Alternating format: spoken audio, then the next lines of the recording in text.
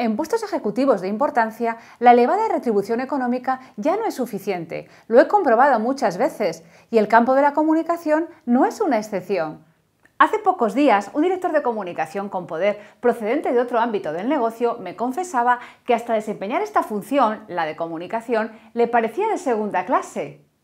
Pero ahora reconocía la gran dificultad que suponía desempeñar este papel, porque el nivel de exigencia era superior al que le reclamaban en el ámbito del negocio del que procedía. Además, en el ámbito de la comunicación nunca es suficiente. El trabajo es poco reconocido y poco valorado, me comentaba. Lo cierto es que los éxitos son tan fugaces por la velocidad de la actualidad y tan poco saboreados por la falta de reconocimiento que inevitablemente lastrará la labor de estos profesionales.